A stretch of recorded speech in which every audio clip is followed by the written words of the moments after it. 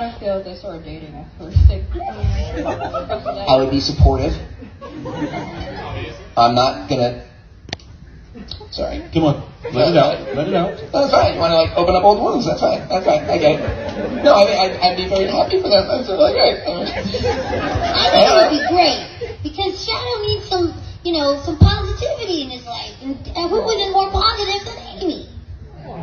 but she's mine. No.